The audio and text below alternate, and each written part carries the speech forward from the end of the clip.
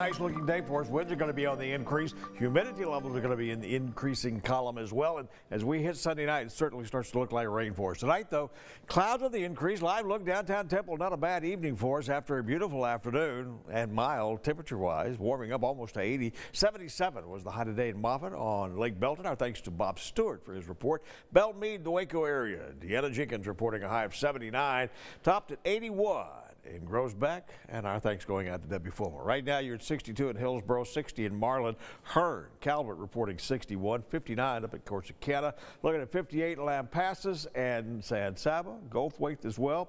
61 in Killeen Copperas Cove, 60 Temple Belton, and 62 degrees air temperature right now in the Waco area. Tonight we'll see the clouds on the increase. That'll hold in a little more warmth than we saw uh, last night. Last night's clouds held in a little bit too. So first thing in the morning, I think 50s are going to be the rule. 54 in Gatesville first thing in the morning, 53 for Waco, 57 for Temple, and probably uh, similar readings across much of the entire region. Afternoons tomorrow, back up into the 70s. Perhaps not as warm as today because the cloud cover will be thicker, and we might see a sprinkler or two across the area, but I don't put much in the, uh, the way of any rain in our forecast for us for the short term.